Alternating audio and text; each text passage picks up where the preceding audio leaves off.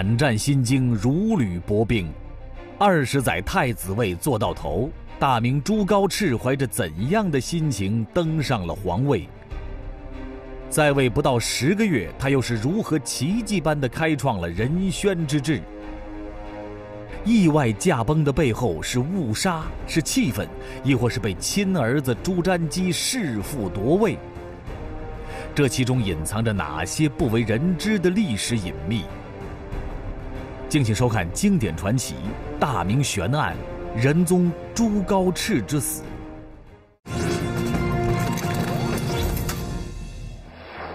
大家好，欢迎收看江西卫视经典传奇，我是幻之。自从秦统一六国之后啊，历史上先后出现过四百多位皇帝，他们有的在位时间比较长，比如说清朝的康熙皇帝在位长达六十一年，西汉的汉武帝在位长达五十四年，也有在位时间比较短的十天啊或者几个月，像皇位就坐了半天的金末帝完颜成林。在位十七天的唐商帝李重茂，还有一月天子明光宗朱常洛等等，这怎么说呢？人生有的时候就是有很多偶然。当然，一般在位时间短的皇帝，历史上除了有名字，也不会留下什么名垂青史的事儿啊，也可以理解。您想啊，屁股都还没坐热呢，皇位就丢了，还能干点什么呀？啊，哎，别着急点头啊，这里头有一位皇帝不一样，谁呀？这位明仁宗朱高炽。这位仁兄皇位只做了不到十个月，竟然开创了仁宣之治，很有一番甩开膀子要大干一场的架势。可是谁知道，就在这个节骨眼上，正值壮年的他突然驾崩。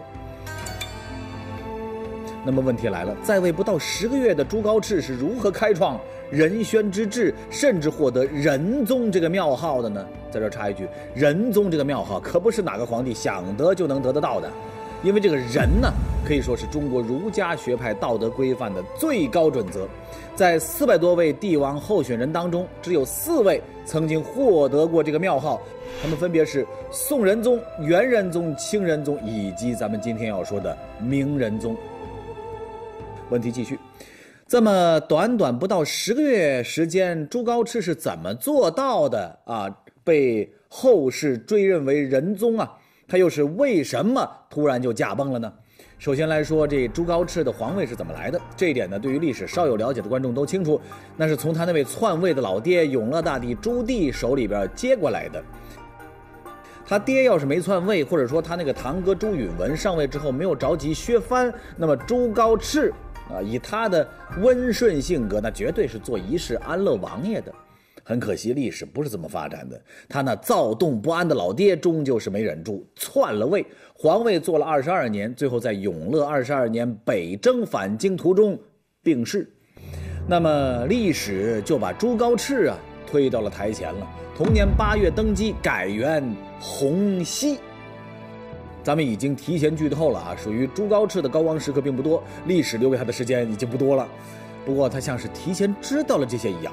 登基之后，毫不犹豫一改自己老爹好大喜功的做派，针对父亲伐漠北、征安南导致的民苦徭役的现状，颁布了宽恤之令，赈灾、免赋税、与民同利。紧接着，在政治上，朱高炽也改变了永乐朝内阁只备顾问的权限，赋予了阁臣参赞机要等等权利。光是这两项举措，一时之间就让已经内耗过度的大明帝国进入了平稳发展的时期。当然了，朱高炽做的远远不止这些，甚至在死前不久，他还颁布了一份诏令，进一步告诫司法当局要依法判决案件。插一句，您要是对他爷爷朱元璋的所作所为有所了解的话，恐怕就能够明白“依法判案”这四个字对于明朝来说分量有多重了。朱元璋那是完全不按套路出牌，尤其是统治的后期，几乎是全凭个人猜忌和喜好来判案的。朱高炽一再强调，尤其是针对死刑犯的判决，那更是要在程序上反复的核查、验明正身。还有啊，不许对犯人屈打成招，也不许在惩处犯人的时候搞连坐、亲属啊那一套。您再想想他爷爷朱元璋和他老爹朱棣的做派，咱们节目之前提到过啊，连坐别说九族了，十族都干过。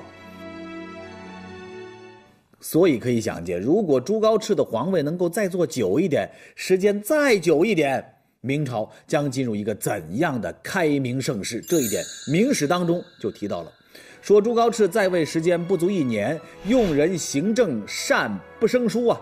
假使老天能够让他多活几年，寒儒修养、德化兴盛，绝对可以与汉朝文景之治相媲美。当然，就这十个月不到，他也为仁宣之治这个明初三大盛世开了一个好头，绝对当得起一个“仁”字。那么，关键的问题来了：这么好的一个皇帝，他怎么就突然驾崩了呢？死因是什么呀？这一点不好意思，没人知道。啊，这事儿一度还成为了历史上的一个悬案。有人猜测他是死于后宫的宫斗，被误杀了；也有人说呢，他是被大臣活活给气死的。还有人说他这是服用丹药的结果，等等等等，众说纷纭呢。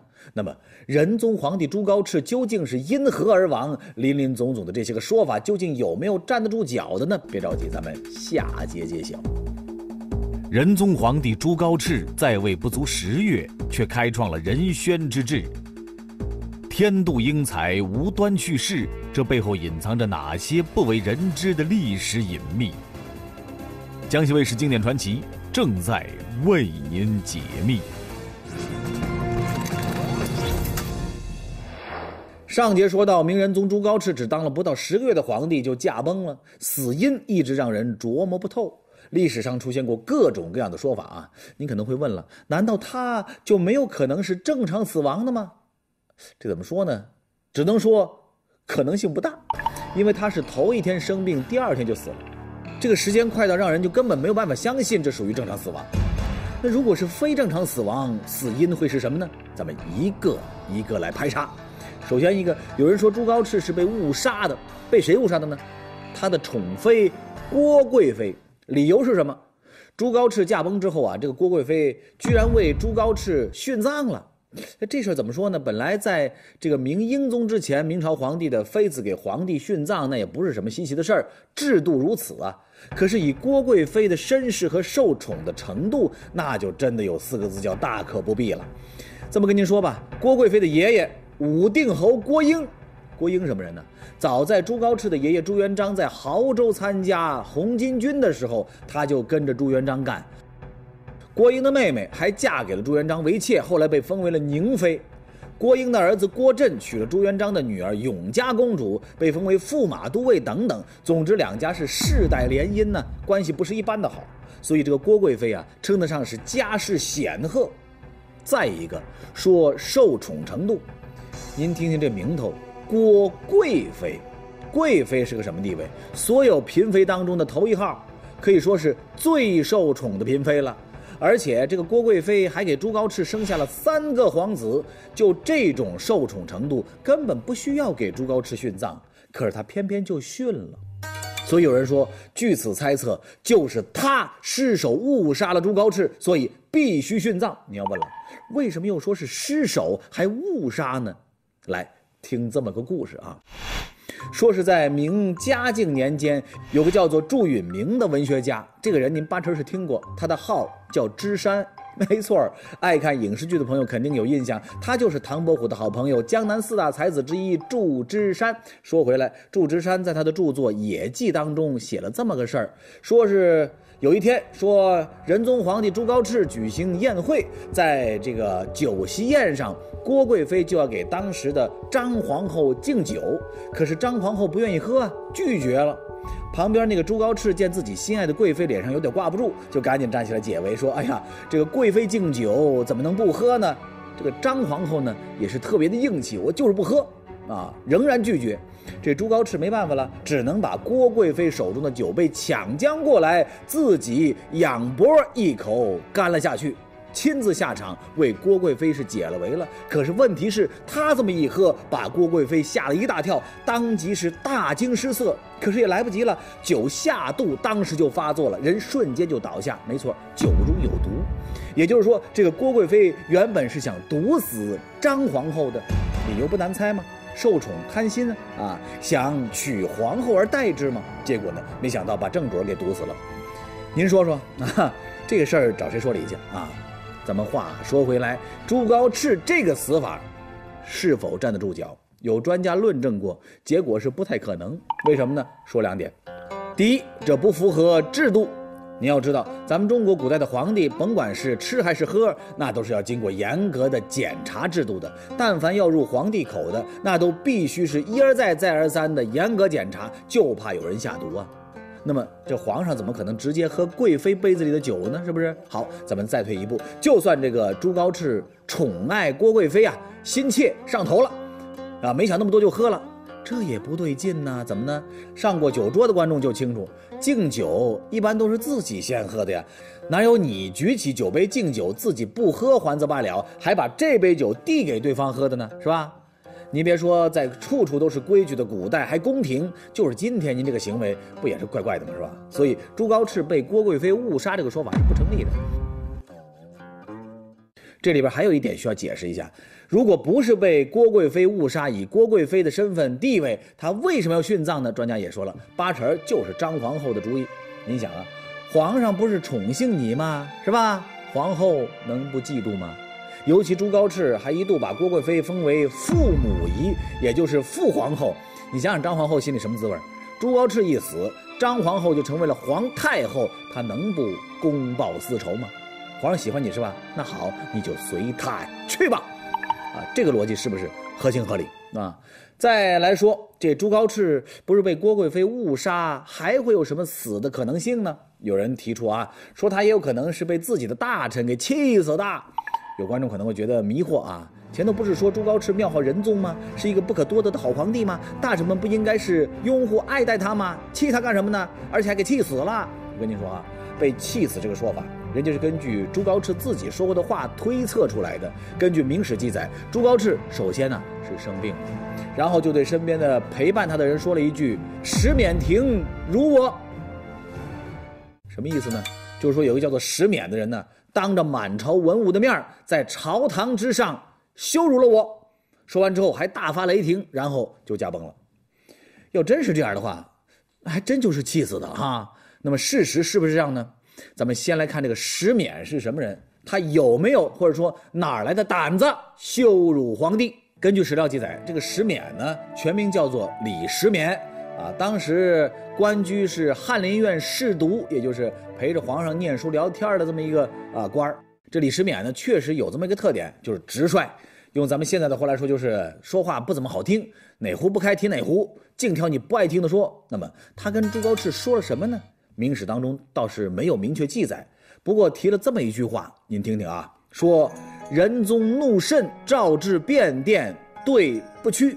意思是说，仁宗皇帝极其愤怒，可是当着满朝文武的面，他又不好辩驳，只能把这个李世勉叫到休息的便殿跟他讨论。可是谁知道这个李世勉呢不识抬举，还抬杠硬刚，把朱高炽给气的一声令下，给我打，生生打断了三根肋骨，人都昏死过去了。后来拖出便殿，是满朝文武都求情，这才没有杀了李世勉。好。李世勉的小命是保住了，可是皇上的气儿还没消啊，气个半死。临死之前还记恨这个事儿。有观众要问了哈，要真是被这么气死的，难道事后就没有人追查吗？你别说，还真有。据说当时的张皇后就认定自己的老公就是被李世勉上书给气死的，非要杀了他给朱高炽报仇。张皇后啊，那会儿应该是张太后了。她这么一开口啊，这事必须得查吧。结果怎么样呢？负责追查这个案子的人不是别人，就是继任的皇帝朱高炽的亲儿子，叫朱瞻基。为了慎重起见，他决定亲自提审李世勉。上来就问，别的咱先不说，你就说说你的上书里边都写了什么。李世勉倒也不慌，说我没写什么呀，大概是说梁阁中不宜进嫔妃，皇太子不宜远左右。意思就是说，皇上您在那个通风的、透凉的亭子里边，不要跟嫔妃们寻欢作乐，小心身体啊。还有一个，别让太子离开北京，要防止有什么不测。朱瞻基一听，呵，这话句句都在点子上哈，赤胆忠心啊。那怎么就把先帝给气死了呢？不可能，这锅呀，一定不是李世勉的，他不用背。你走吧。官复原职，该干什么干什么去，就这么着把李世民给放了。听到这儿，您是不是明白了一点儿？也就是说，朱高炽不可能是被李世民给气死的，不然当儿子的朱瞻基能放过他吗？好，那要不是被郭贵妃误杀，也不是被大臣给气死，朱高炽的死还会有什么死因？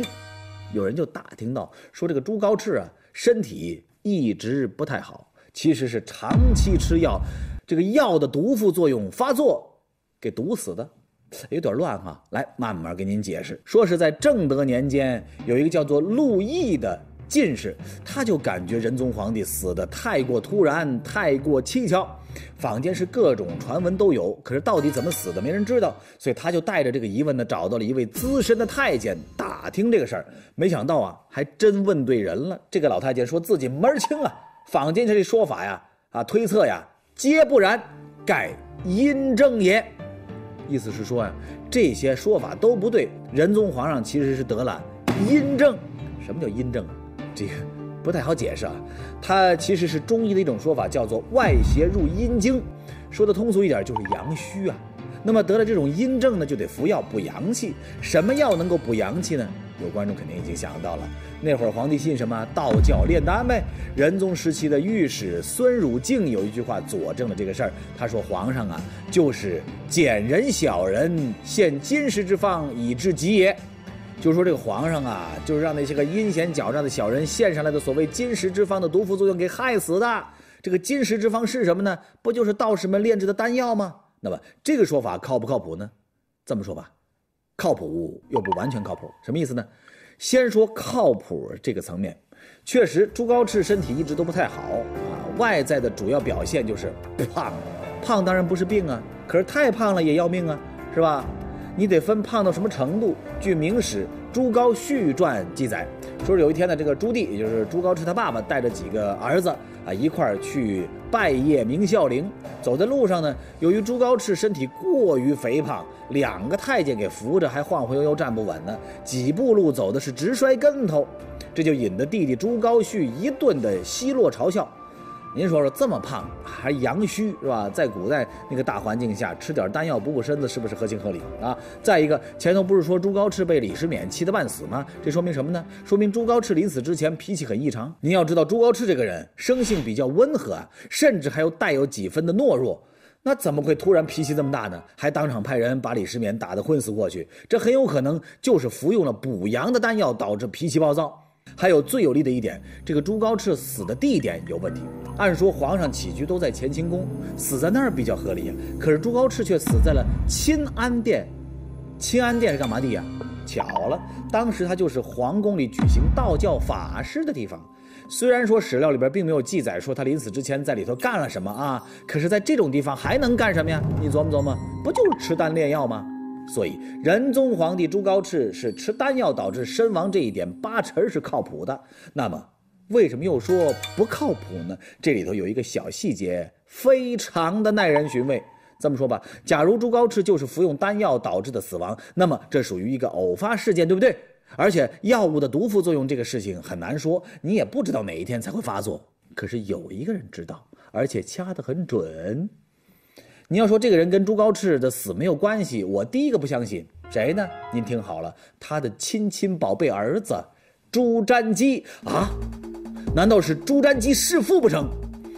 下节说，太子朱瞻基为何能准确掌握父亲朱高炽的死亡时间？在这场扑朔迷离的案件中，朱瞻基究竟扮演了什么样的角色？江西卫视经典传奇正在为您解密。上节说到，明仁宗朱高炽很有可能是为了补所谓的阳气吃丹药，然后毒副作用发作而驾崩了。不过这里头有一个事情非常之蹊跷，那就是他前脚驾崩，后脚儿子朱瞻基就回来继位了。你要问皇上死了，那可不就是太子继位吗？蹊跷在哪儿啊？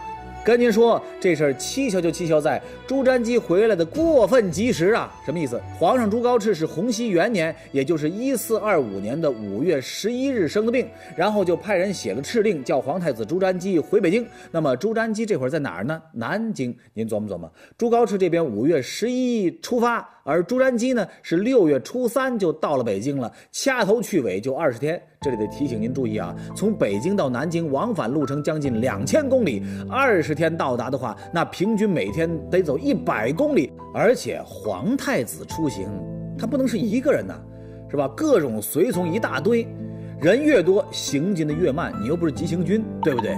那么问题就出现了。朱瞻基是怎么这么快从南京跑到北京的呢？只有一种可能，那就是朱瞻基根本就不在南京。你要是觉得这个距离上还不足以说明这个问题的话，那么再跟您说个事儿。当时朱高炽驾崩之后啊，由于皇太子不在身边，所以大臣们就选择了先密不发丧。为什么呢？怕有人钻空子。谁会钻这个空子？仁宗皇帝朱高炽的亲弟弟汉王朱高煦啊。有观众或许知道，这个朱高煦啊，在他爹朱棣在位的时候就蠢蠢欲动，一直就看不上当时还是太子的朱高炽。更要命的是，这个当爹的朱棣还很喜欢朱高煦，甚至一度鼓励他说：“如努力，世子多吉。”意思是你可要好好努力呀，好好表现呐。你哥哥朱高炽虽然是世子，可是他身体不好啊。剩下的就不用我多说了吧？啊，这都。几乎谈不上暗示啊，简直就是明明白白说出来了啊！你哥哥身体不好啊，暗示自己的啊，或者明示自己的二儿子这个世子的位置，啊，甚至说后头的太子的位置早晚是你朱高煦的。结果没想到朱高炽命还挺大，熬到了登基，朱高煦也没有办法。可是这会朱高炽没了呀，你说这个朱高煦他能坐得住吗？绝对不能够啊！这不，他在得到消息之后，第一瞬间就一个念头，那就是不能让朱瞻基接到啊继位诏书。那么怎么才能够阻止呢？朱高煦就派了一支精锐骑兵，在北京和南京之间的乐安，就是咱们现在山东惠民县设下埋伏，准备把皇太子劫杀于半道。那么劫杀到没有呢？啊，咱们知道后来的历史是显然没有的。可问题是，按照距离推算，如果朱瞻基真的在南京接到敕令往北京赶的话，朱高煦至少有整整十七天来设伏，时间可以说是相当充足啊。可是他怎么都没有想到，朱瞻基竟然在他的伏兵到达指定位置之前，已经越过伏击点了。这个事儿等于是再次佐证了朱瞻基。并不在南京。您再往深了一想，他不在南京，可是皇帝召回他的敕令是往南京送的，他又是怎么知道父皇去世的时间，还准点赶到北京继位的呢？只能是他提前知道了父亲朱高炽会在那一天去世。那么他怎么才能提前知道呢？有人就推测了，很有可能是朱瞻基指使亲信在父亲朱高炽服用的丹药里边做了手脚。那他的动机是什么呢？人家也说了，很有可能就是因为忌惮自己的叔叔朱高煦，因为朱瞻基很清楚父亲朱高炽啊体弱多病，随时有驾崩的可能。可是他却被派到了南京，因为父亲准备迁都南京，这就意味着有很长一段时间父子二人是要分开的。朱瞻基就担心啊，父皇一旦驾崩，他根本就没有时间及时往北京赶，这就让叔叔钻了空子了，所以才出此下策。就连朱瞻基自己都说。使至俱还，非众所测。意思是说，我到了南京就回到了北京，来往如此迅速，可不是你们猜的原因呐。那么是什么原因呢？人家也没说。总之，一切就俩字儿，你猜。那么朱高炽死因的这个说法靠谱吗？也是两个字儿，难说。只能说朱瞻基的诡秘行为跟这件事情肯定是沾边儿的。这个逻辑推理是靠谱的。啊，事实上是什么样，还需要有新的历史材料出现才能够进一步证实。那今天就只能说到这儿了。关注栏目的官方抖音号和微信公众号“江西卫视经典传奇”，扫描屏幕下方的二维码，您不仅可以观看往期精彩节目视频，还可以参加各种线上线下的活动。咱们下期节目再见。